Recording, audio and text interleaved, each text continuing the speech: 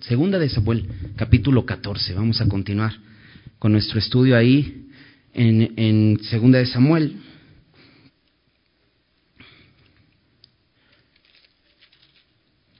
¿Ya están por ahí? Vamos a, vamos a poner este tiempo en manos de Dios, vamos a hacer una oración. Señor, gracias porque eres bueno, gracias por este tiempo en tu palabra que nos das entre semana, que podemos venir a ti, Señor. Gracias te damos, Señor, porque tenemos tu consejo, tenemos tu dirección, Señor. Has dejado estas cosas escritas, Señor, para que nosotros podamos conocerte, saber tu voluntad, saber eh, el camino en que quieres que andemos, Señor. Y, Dios, aquí estamos dispuestos a escucharte. Abre nuestros corazones, Señor. Abre nuestro entendimiento para poder recibir tu palabra, Señor. Y que podamos, Señor, salir de aquí renovados en nuestra mente, Señor, con un corazón dispuesto a honrarte en todo lo que vivimos cada día, Señor. Te pedimos esto y te damos gracias en el nombre de Jesús. Amén. Bueno, si recuerdas la semana pasada en el capítulo en el capítulo 13, bueno, las dos semanas anteriores estuvimos viendo esta eh, más de cerca la familia de David, ¿no? De pronto te decía en, Primera de Crónicas, eh, que cuenta muchas de estas historias, vemos, eh, no vemos ciertas cosas que menciona eh, el, libro de Samuel, como estas, ¿no? Situaciones familiares, ¿no? Que se dan en, lo secreto, ¿no? En una familia. Y, vimos una tragedia familiar en este capítulo 13, de, empezando por este hijo de David, el primogénito de David, Amnón, cómo tomó a su, a su hermana y abusó de ella. Y esto no, no, no es solucionado, no es corregido, no hace nada David. Y esto hace que en Absalón, hermano de Tamar, de esta, de esta chica que fue abusada, este, crezca una raíz de amargura. Vimos la semana pasada cómo este, este hombre planea todo para matar a su hermano y después vimos cómo termina el capítulo, eh, todos eh, lamentando esto, una gran tragedia lo que había sucedido, y Absalón huyendo. Al final del capítulo 13, dice en el versículo 38,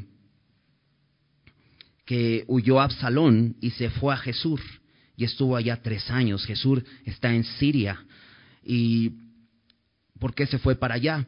porque de allá era su madre. David se casó con Maaca, hija de Talmai, que era el rey de Jesús.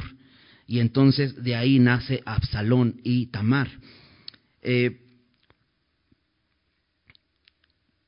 y el versículo 39 dice, y el rey David deseaba ver a Absalón, pues ya estaba consolado acerca de Amnón, que había muerto. En el versículo 37 dice que David estaba llorando, pero en este, en este versículo 39 dice que ya estaba consolado. Eh, no sé hasta dónde David pudo haber sido consolado, porque realmente quizá fue consolado porque ya no estaba con él, pero realmente no, no se hizo nada al respecto. Tanto no hizo David nada al respecto eh, en cuestión de este abuso que hizo Amnón con su hermana Tamar, como tampoco hizo nada con respecto a la muerte de Abnón por parte de Absalón. Esto es una, esto es una locura, ¿no? E, y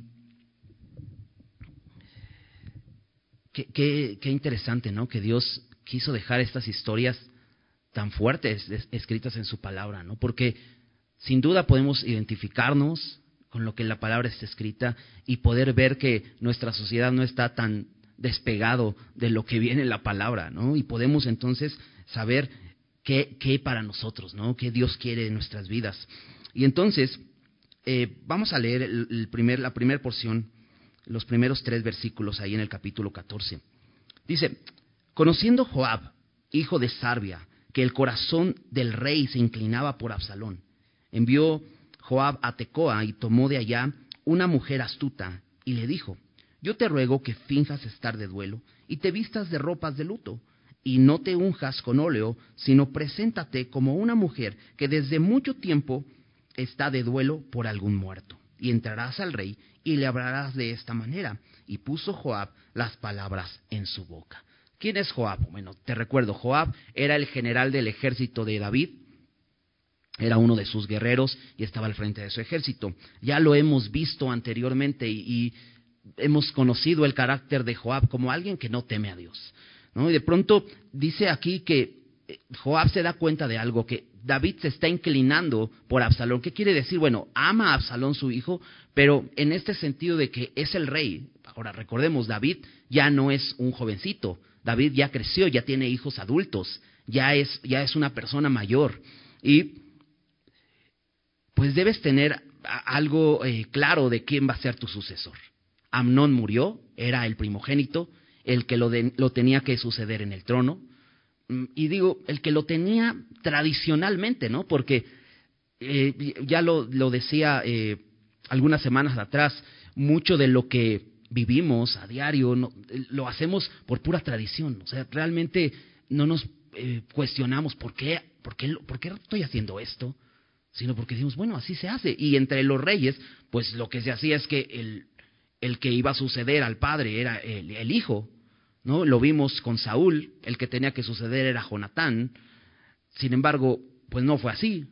Fue David, porque Dios lo dijo, ¿no? Y en este caso, en la historia de David va a ser lo mismo, porque realmente no es el que le sigue, porque David tiene muchos hijos y el siguiente rey va a ser Salomón y no es precisamente el que seguía, sino es el último y el menos probable, porque si recuerdas, eh, la última esposa que tiene David es Betsabé, de donde nace Absalón. ¿no?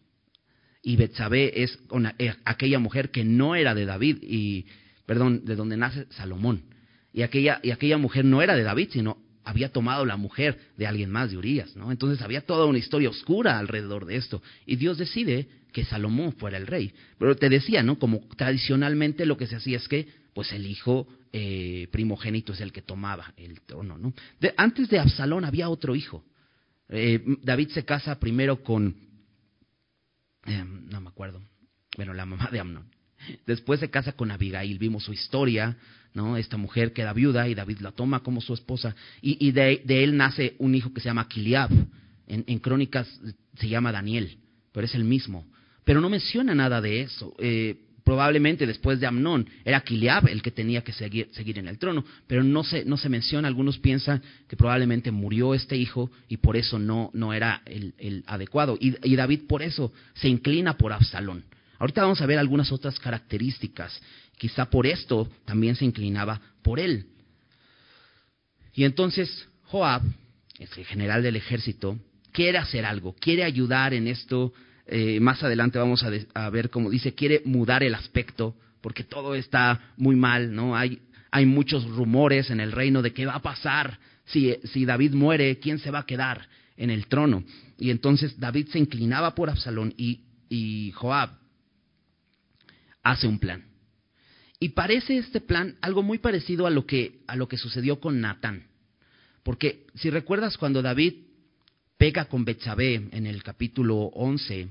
En el capítulo 12 vimos a Natán, que se presenta con David y le cuenta una historia. Y, todo es, eh, eh, simplemente una parábola que hace Natán para que David se diera cuenta de su pecado. Y parece que Joab trata de hacer lo mismo, pero Joab dice que busca una mujer de Tecoa, una mujer astuta. Y ya vimos también eh, este hombre Jonadab, primo de, de Absalón y de Amnón, que era astuto. No precisamente que era una mujer sabia, simplemente que era astuta para hacer ciertas cosas. La vamos a ver como una actriz. ¿no? Creo que lo que hace eh, eh, Joab va a buscar una actriz y dice que la va a buscar a Tecoa. Esto quedaba aproximadamente a 20 kilómetros de Jerusalén. Y esto lo hace con el fin de que no fuera alguien conocido para David y no, no fuera descubierta. Entonces, Joab fabrica toda la escena, él ya tiene el libreto, él ya sabe lo que esta mujer debe decir, simplemente le dice, tú te vas a vestir de esta manera, te vas a vestir de luto, vas a fingir que estás de duelo, vas a, no te vas a poner perfume, sino te vas a presentar como una mujer que parezca que llevas, por mucho tiempo, llevas muy triste. ¿no? y al final dice que Joab pone las palabras en su boca. Entonces prácticamente lo que hace es le entrega el libreto y le dice, lo estudias porque vas a decir esto. Así es como lo tienes que decir. Vamos a continuar leyendo. Versículo 4. Dice, entró pues aquella mujer de Tecoa al rey, y postrándose en tierra sobre su rostro hizo reverencia y dijo, socorro, oh rey. El rey le dijo, ¿qué tienes? Y ella respondió, yo a la verdad soy una mujer viuda, y mi marido ha muerto. Tu sierva tenía dos hijos, y los dos riñeron en el campo, y no habiendo quien los separase, hirió el uno al otro y lo mató. Eh, es, muy interesante, ¿no? Como de pronto empieza a desarrollar esta historia. No sé qué pasaría por la cabeza de David mientras escuchaba esto. Pero imagínate, David es el rey, es el encargado de juzgar las situaciones del pueblo, y de, repente empieza a escuchar, bueno, es un hijo mató a otro hijo, y, te imaginas a David diciendo, no, no me, no me, no me hagan esto, no, yo no sé qué hacer con mi familia y me traen un caso así. Vamos a seguir leyendo, dice versículo 7.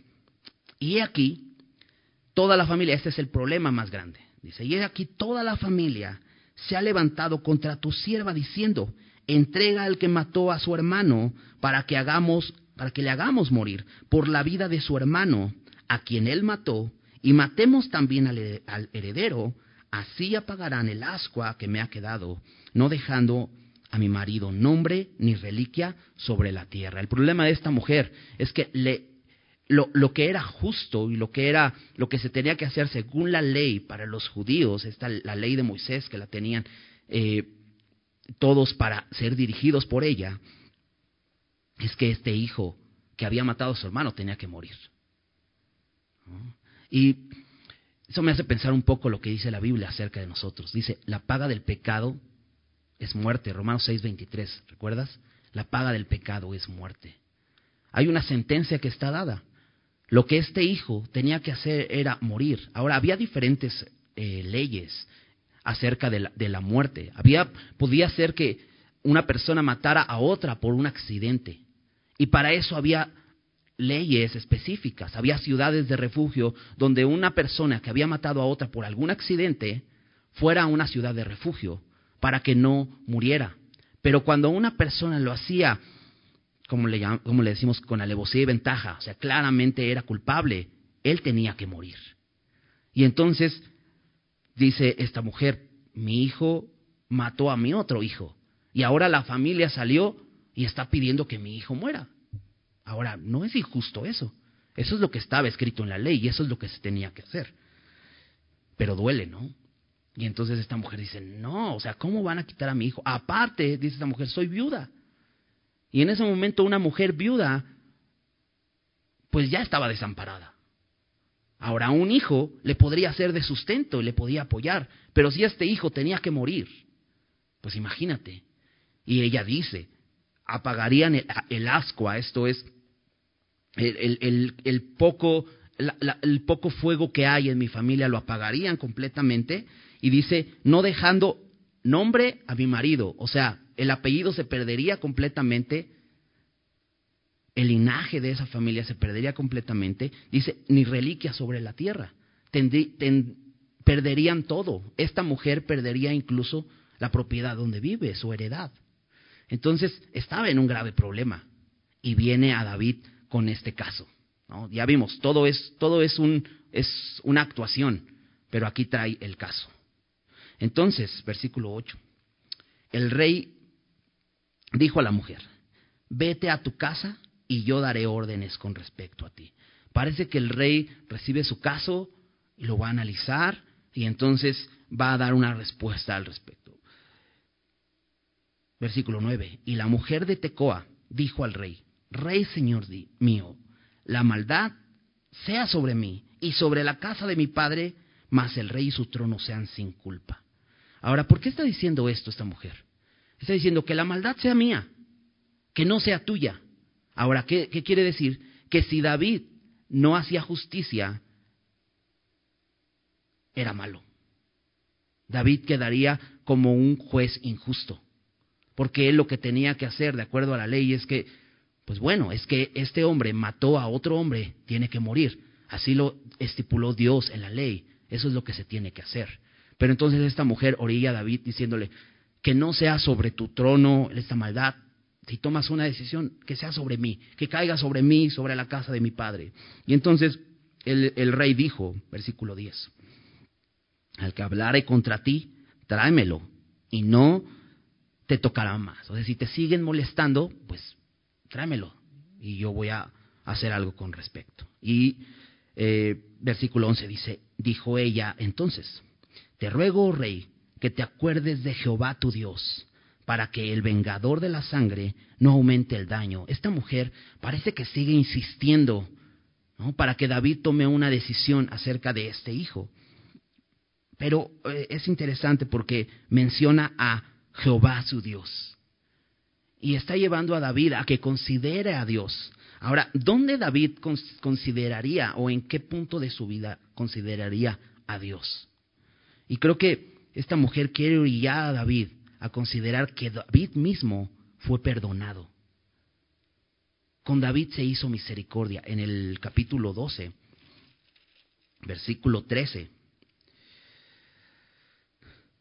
después de todo esto que, que Natán le muestra a David, de esta historia, y entonces David se molesta por esta historia que escucha y dice, este hombre debe morir. De pronto eh, eh, Natán le dice, ¿eres ese hombre?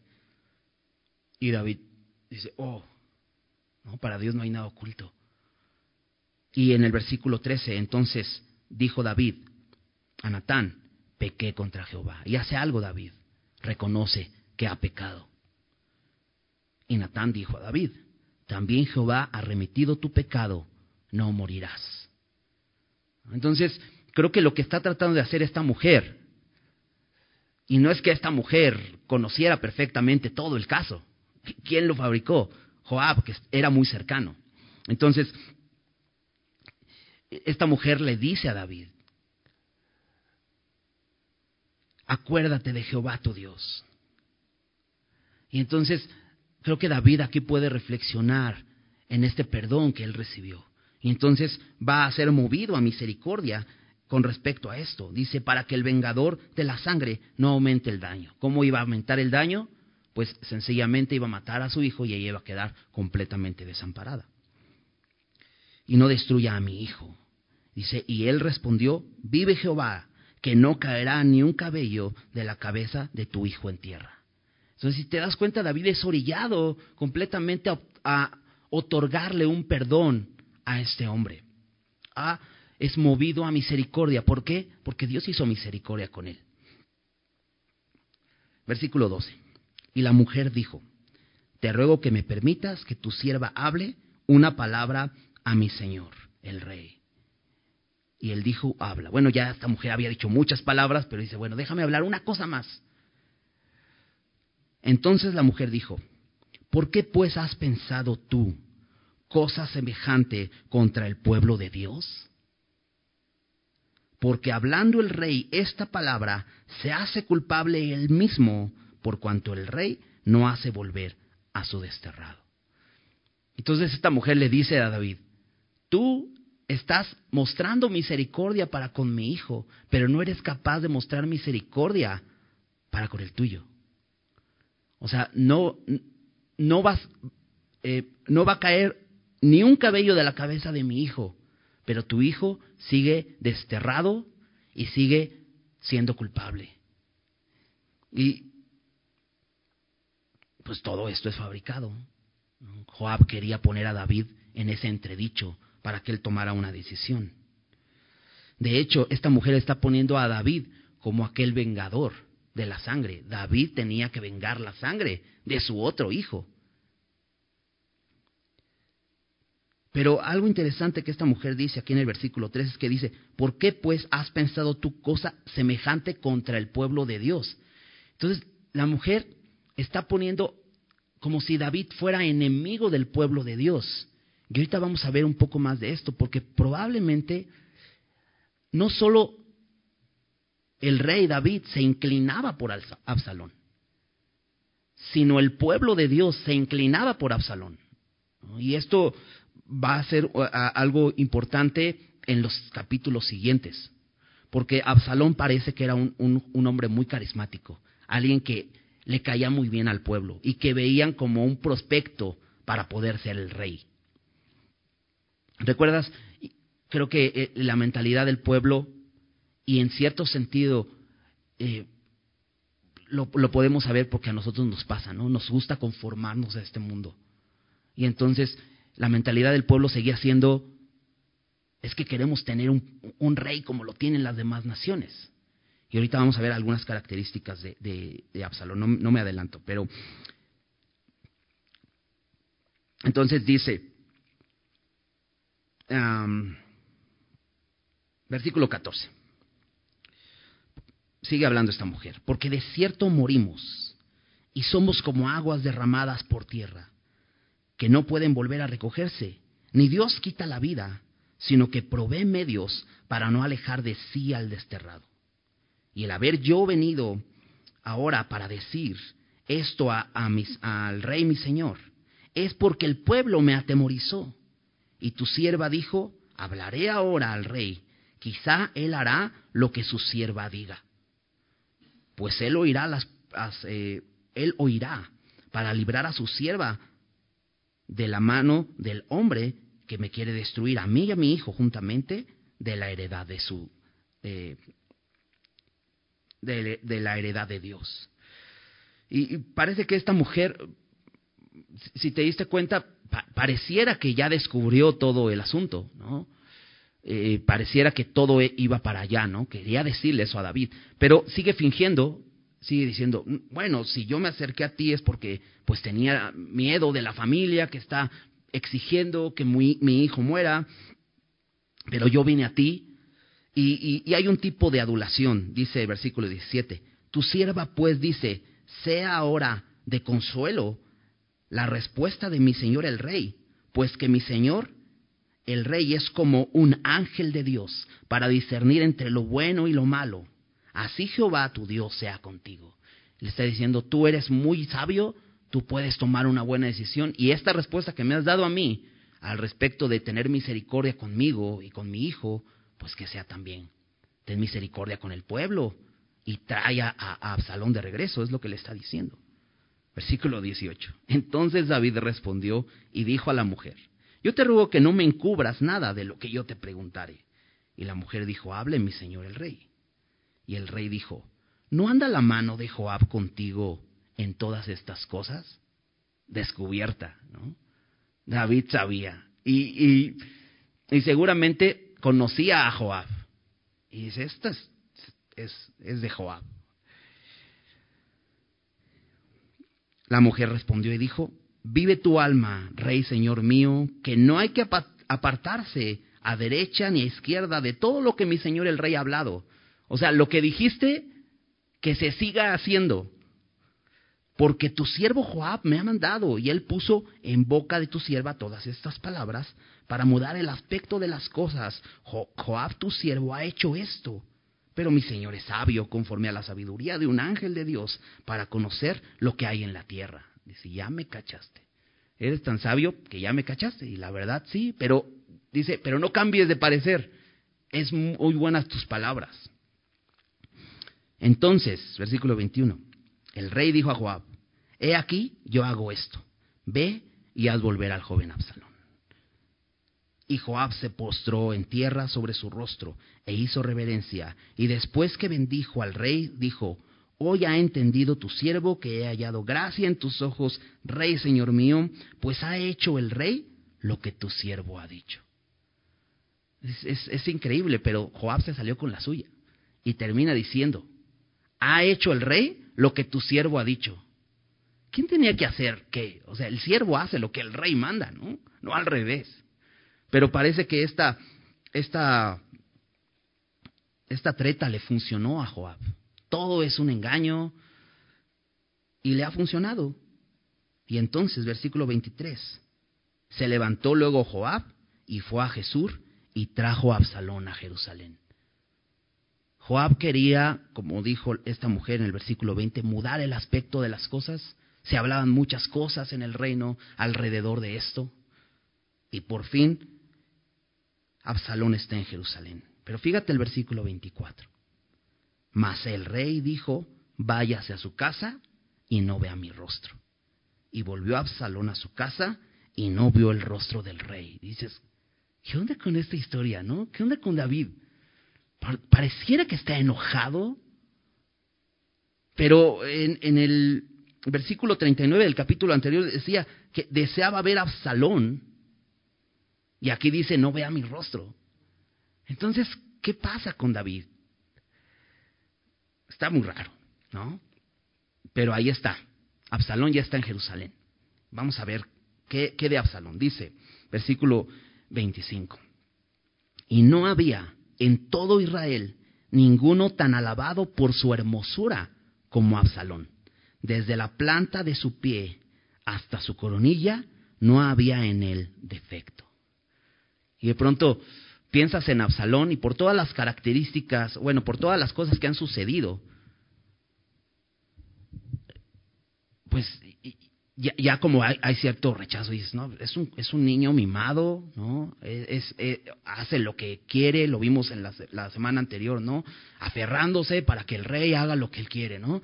Este, eh, siendo orgulloso, ¿no? Invitando a la familia del rey para que vengan a la, a la esquila de ovejas y todo esto, ¿no? Pero de pronto aquí menciona algo interesante, es un hombre muy hermoso, ¿no? ¿Te acuerdas que mencionaba que David era hermoso?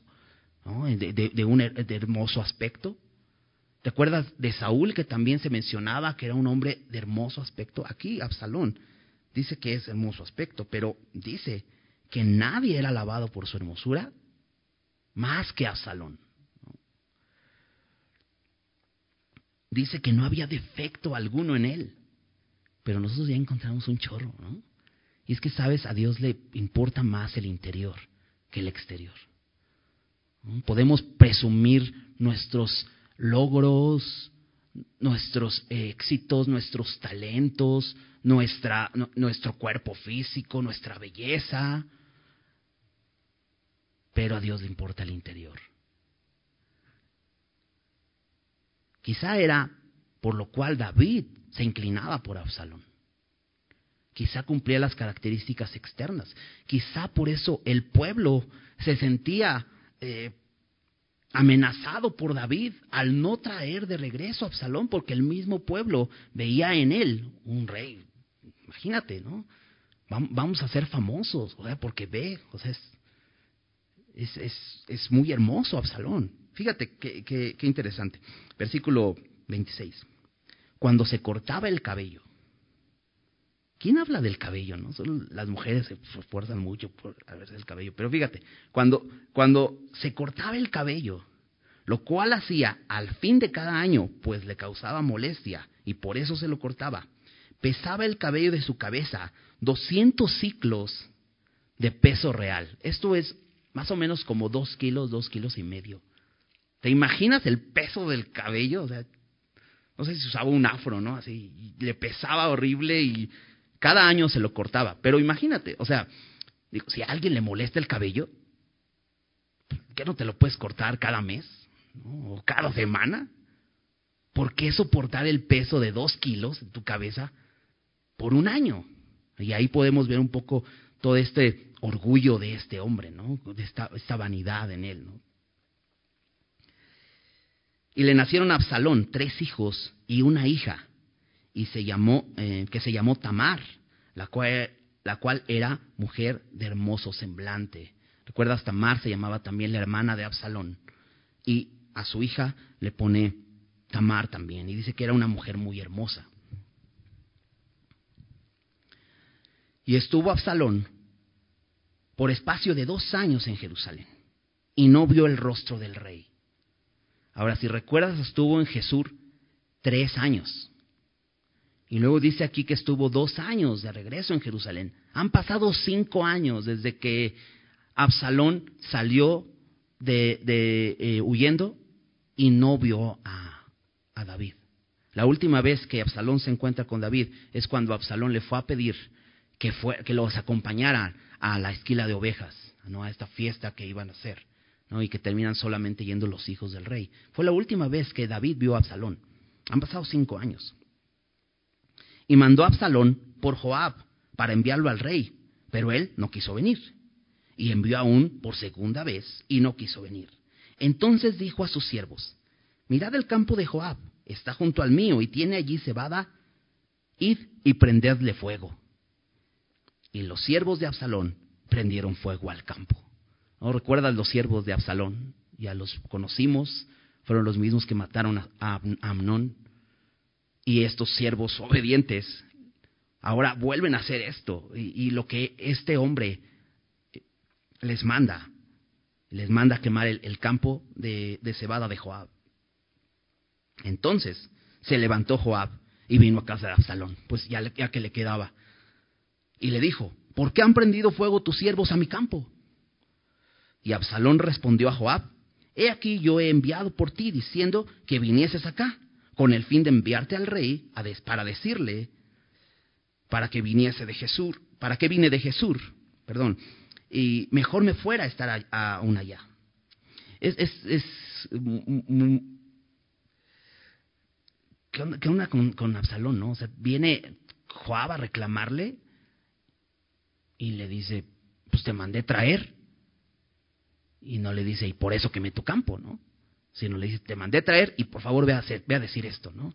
Es, es, un hombre completamente orgulloso. Y entonces lo que, le, lo que le envía a decirle a David es esto, ¿para qué vine de Jesús? Mejor me fuera estar aún allá. Vea yo ahora el rostro del rey, y si hay pecado en mí, y si hay en mí pecado, dice, máteme. ¿Te das cuenta? Absalón no ha reconocido su pecado. Para él lo que hizo fue justo. Vino pues Joab al rey y, le hizo, y se lo hizo saber. Entonces llamó a Absalón, el cual vino al rey e inclinó su rostro a tierra delante del rey y el rey besó a Absalón. Y se acabó. Y la siguiente semana va a empezar a contar otra cosa pero ahí se acabó, ¿no? Simplemente David besa a Absalón y listo. No hay corrección. Qué, qué rara historia. Pero sabes, es, es duro, ¿no? Yo, pienso esto, ¿no? Es duro para un, para un hombre tener que tomar la decisión cuando está en sus manos decir mi hijo tiene que morir. Y, definitivamente para David era duro tener que tomar la decisión de decir, Absalón tiene que morir. Pero Absalón no le inquieta. Absalón está desterrado, él decidió irse allá y no le inquieta. Para él no hay ningún problema. No ha intentado nada para pedir perdón, no ha intentado venir a David arrepentido, no ha intentado nada. Absalón vino a, Jerusalén porque Joab lo trajo, pero no, no vino por su propio pie. Y creo que esto es más doloroso para, para un padre que sabe que su hijo debe morir. El no ver un rasgo de arrepentimiento. David no, no intentó eh, ir, a, ir a buscar a Absalón, aunque pudo hacerlo. Pero al parecer David está siendo paciente. Y, demos como el beneficio de la duda, ¿no? Porque yo no sé por qué David no hace nada. Pero seguramente si David hubiera corregido a tiempo el pecado, hubiera evitado todo esto.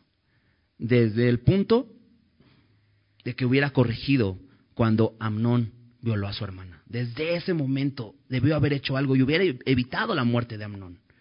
Hubiera salvado a Absalón de ser un homicida, pero David no hace nada. En Gálatas, Gálatas capítulo 6, versículo 1, Pablo dice cómo debemos cómo debemos hacer cuando vemos a alguien cometer alguna falta o algún pecado. Dice eh, Gálatas 6.1.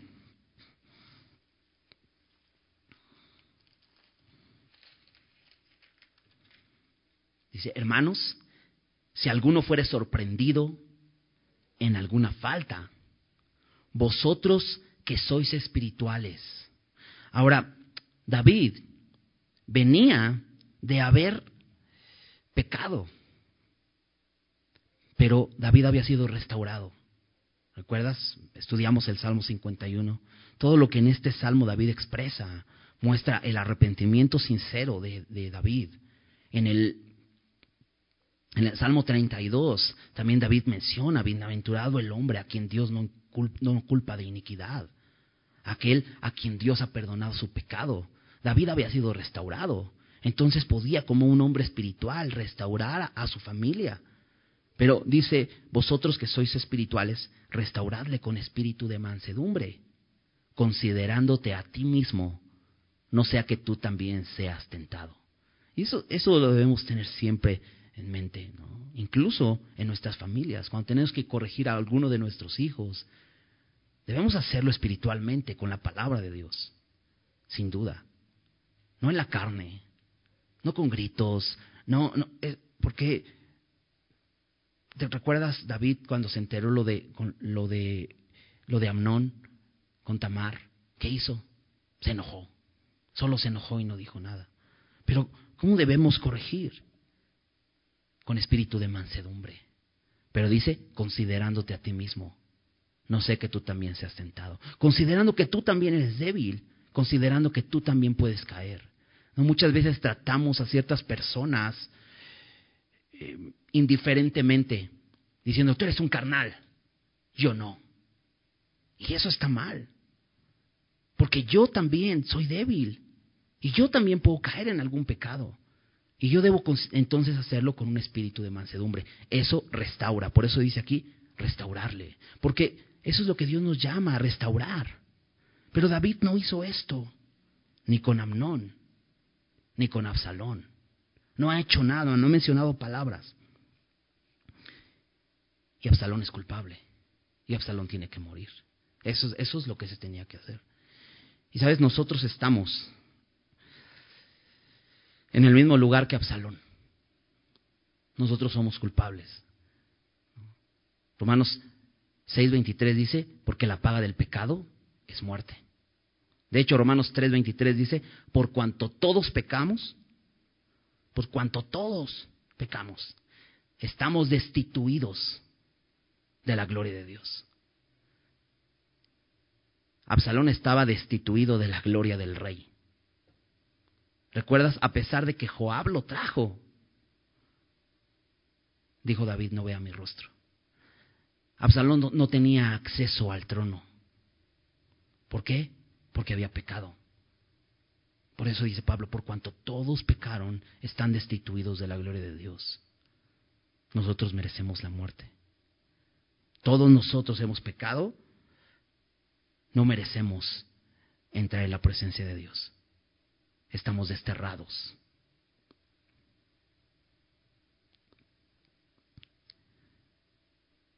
Dios, como un juez justo, va a juzgar. Y sabes, Dios no es como David. Dios juzga justamente. Y Dios va a juzgar a todo aquel que ha pecado. Eso es lo que dice la Biblia. Todo aquel que ha pecado merece la muerte y Dios es un juez justo.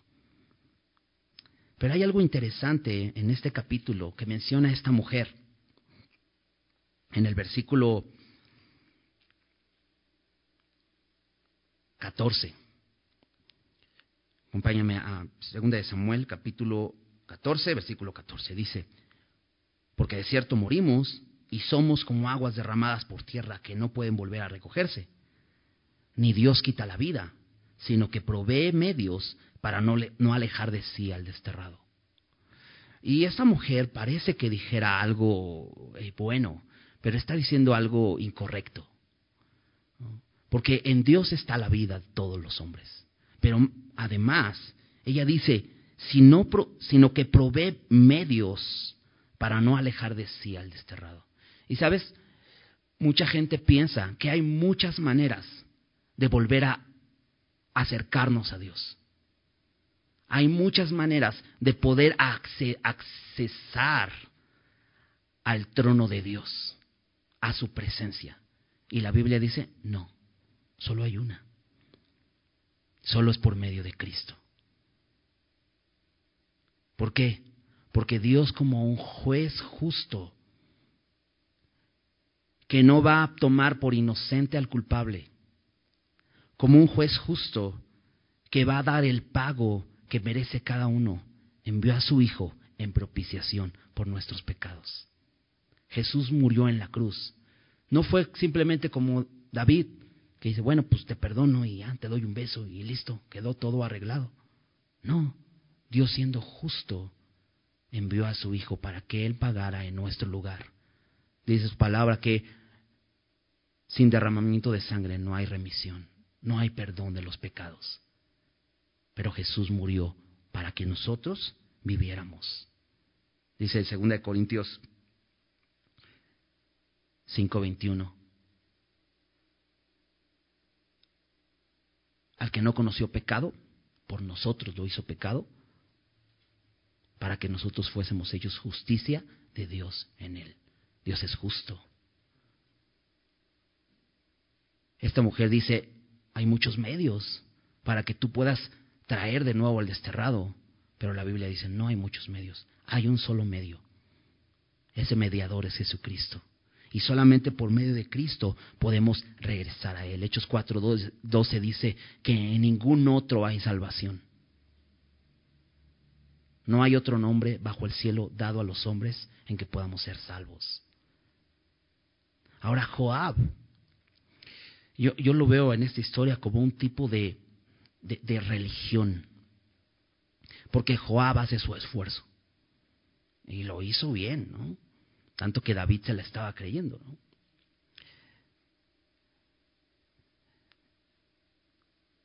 Pero el esfuerzo de Joab solamente pudo llevar a Absalón hasta Jerusalén, pero no lo pudo llevar a la presencia del rey. Y la religión puede decir, no, mira, te portas bien, tú tienes que hacer ciertas obras y de esta manera pues ya Dios te va a aceptar. Y la Biblia dice, no, no hay manera porque hemos pecado y eso nos deja destituidos de su gloria. Y dejó a Absalón ahí. La semana pasada mencionaba un versículo en, Hebreos 12, versículo 15. Dice ese versículo, mira bien, ¿no? no sea que alguno deje de alcanzar la gracia de Dios, que brotando una raíz de amargura, lo se estorbe.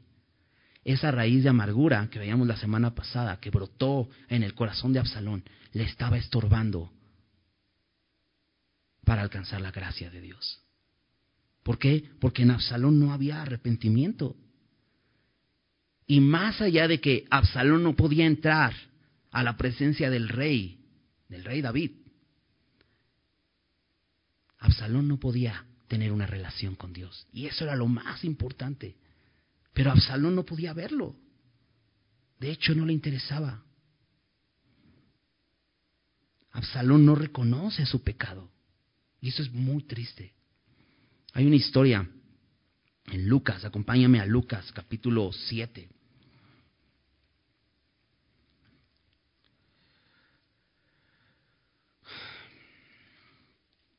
No, perdón, capítulo 15. Lucas capítulo 15, versículo 11. Y quizás hemos escuchado ya esta historia. Es una historia muy bella, es una parábola que Jesús enseña y a través de esta parábola podemos encontrar tantas enseñanzas. Déjame leerla rápidamente, capítulo 15, eh, versículo 11.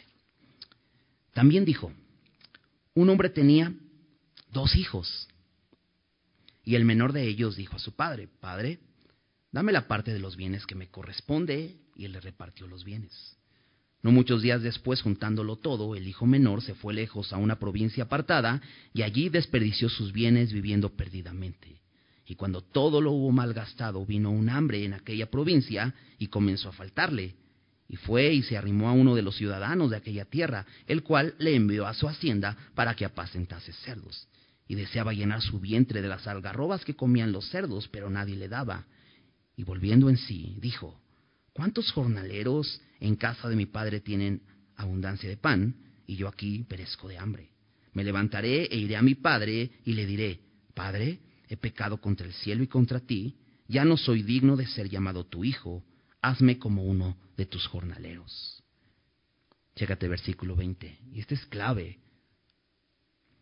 Y levantándose, vino a su padre, y cuando aún estaba lejos, lo vio su padre, y fue movido a misericordia, y corrió y se echó sobre su cuello y le besó. ¿Te das cuenta cómo podría parecer mm, similar la historia? Viene este padre, le da un beso. ¿Cuál es la diferencia? Absalón no se levantó para regresar a su padre, lo levantaron. Fue Joab por él. Y después llegó a, llegó a Jerusalén y se queda dos años. En Absalón no hay arrepentimiento, no hay la actitud de este hombre que reconoció su condición. No dijo en algún momento Absalón, me levantaré y iré a mi padre y le diré pecado.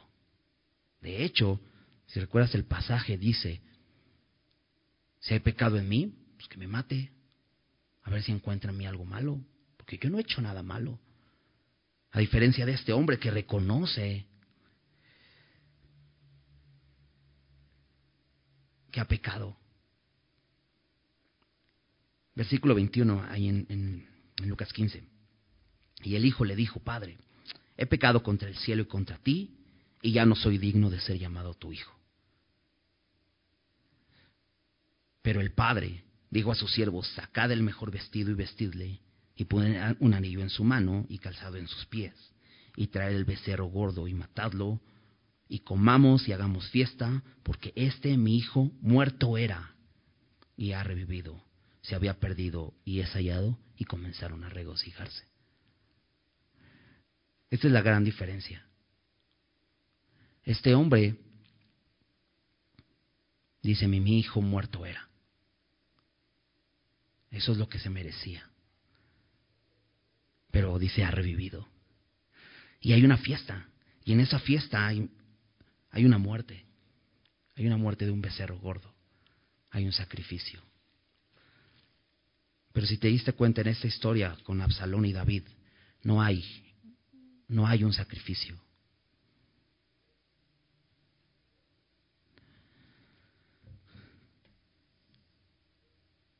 La diferencia entre Absalón y este hombre es que este hombre se levantó y fue a su padre. Absalón no fue a su padre. De hecho, en el versículo 32 eh, le dice, mejor me fuera aún estar allá en Jesús.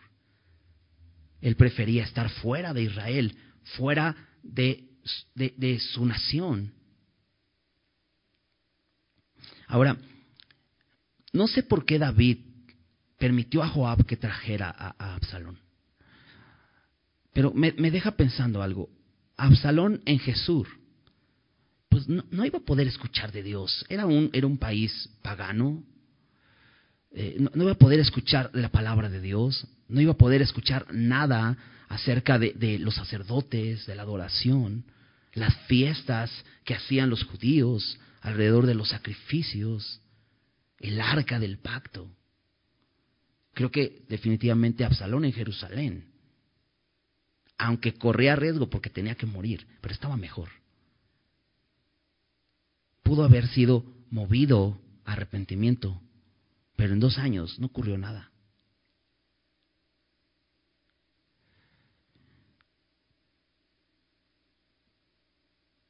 Dios dice, ven a mí. Jesús dijo, al que a mí vienen lo le echo fuera. Y constantemente Dios nos dice, ven, yo ya pagué el. Ven.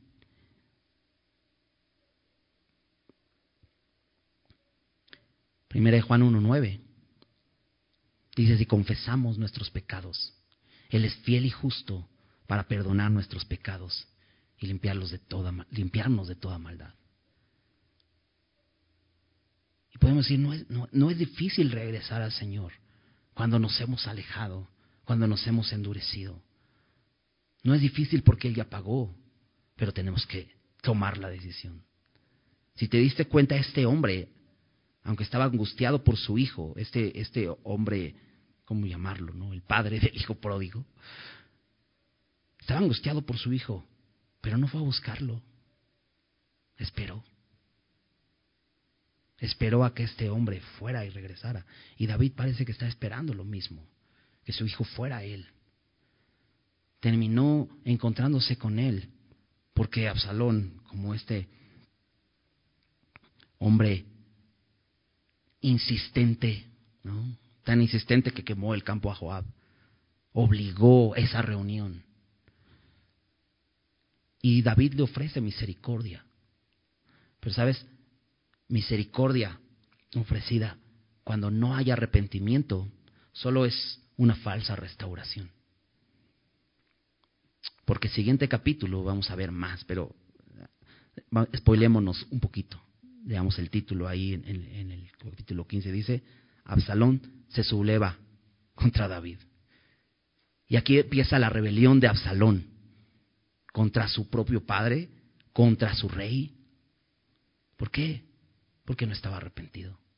Por más perdón que le pudiera ofrecer David a Absalón, no servía de nada, porque él no quería ser perdonado. Necesitamos venir a Dios en arrepentimiento. Acompáñame a Santiago, Santiago capítulo 4.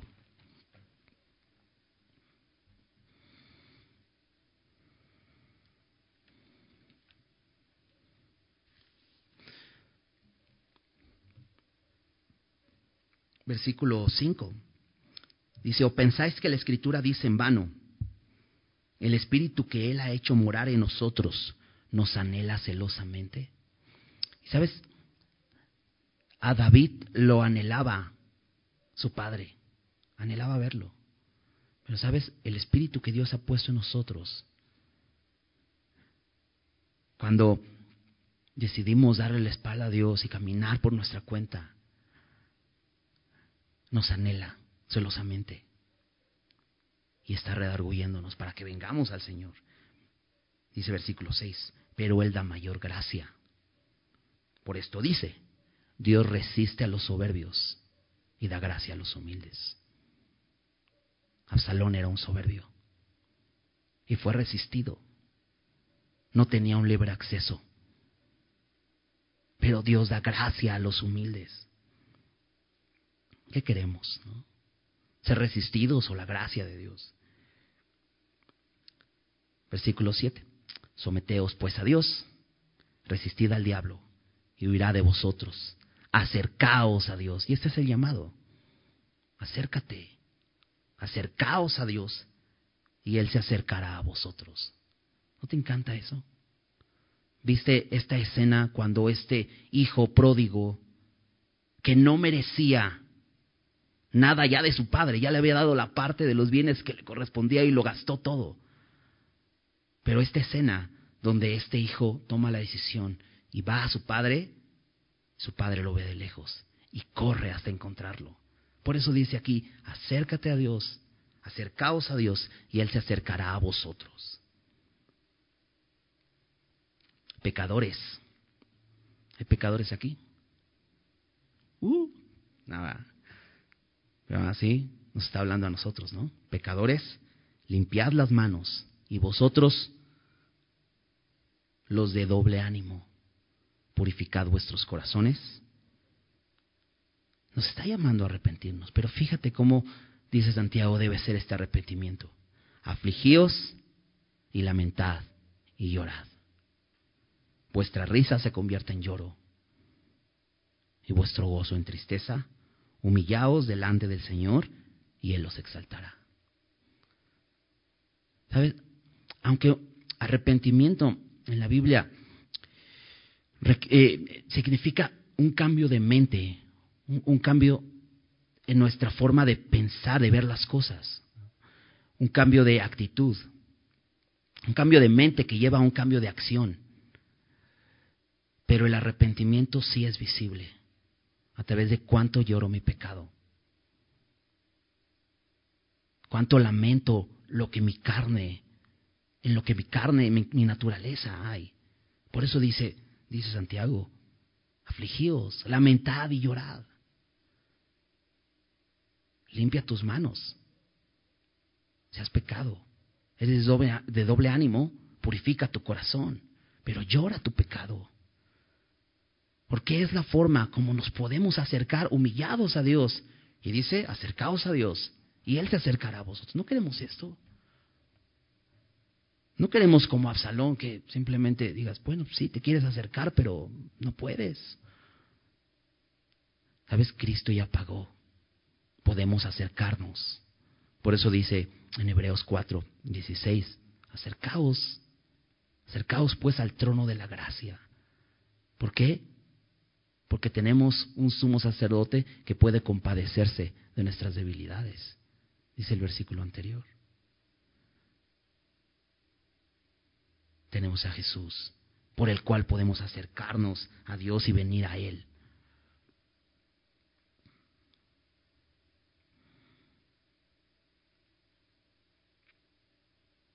Pero Dios resiste a los soberbios. necesitamos humillarnos. Por eso dice aquí, humillaos delante del Señor y Él os exaltará. El llamado es este. Y si hemos pecado y eso nos ha alejado de Dios, porque ciertamente Dios ya nos ha salvado si hemos creído en Él. Pero el pecado hace una brecha entre nosotros y Dios. El pecado nos separa de Él. Por eso dice Santiago, limpia tus manos. Necesitamos venir a Él. ¿Y cómo? En arrepentimiento. Y Él es fiel y justo para perdonar nuestros pecados y limpiarnos de toda maldad. Vamos a hacer una oración. Señor, gracias te damos por tu palabra. Gracias porque nos amas. Y es increíble tu amor, Señor y es perfecto y es completo y es lo que necesitamos, Señor. Y tu palabra dice que nada hay que nos separe de tu amor, Señor. Y por eso nos llamas y nos hablas con la verdad y nos muestras, Señor, nuestra necesidad. Señor, que no seamos como Absalón. Soberbio, enfocado en lo externo, no considerando que había pecado en él. Como si nada pasara, vivía su vida. Y no pudo recibir un perdón que transformara su corazón. Señor, gracias por la obra que has hecho, Señor. Gracias por dar tu vida por nosotros, porque éramos culpables y merecíamos el castigo eterno, estar separados de ti por la eternidad. Pero tú, Señor, como un buen justo, como un, como un juez justo, como un buen Dios que nos ama. Enviaste a tu Hijo para salvarnos, Dios. Gracias te damos. Y gracias porque hoy podemos acercarnos a ti con confianza, a tu trono de gracia. Nada estorba, Señor, porque tú has puesto solución al problema, Señor. Y gracias, Señor, porque acercándonos a ti nos recibiste como tus hijos. Y Señor, hoy podemos tener una relación constante contigo, una relación completa, una relación de amor, donde nada nos falta, Señor. Gracias, Señor. Gracias por ser tan bueno, Dios. Ayúdanos a recordar eso, Señor. Y cualquier momento, Señor, cuando en nuestra naturaleza querramos alejarnos de ti, Señor, recordemos, Señor, que tú nos anhelas celosamente, que tú quieres que estemos contigo, Señor, y nos acerquemos, Señor, sabiendo que si nos acercamos humillados, Señor, reconociendo nuestra condición, tú te acercas a nosotros, Señor, y nos recibes. Gracias te damos, Señor, por tu palabra. En el nombre de Jesús. Amén.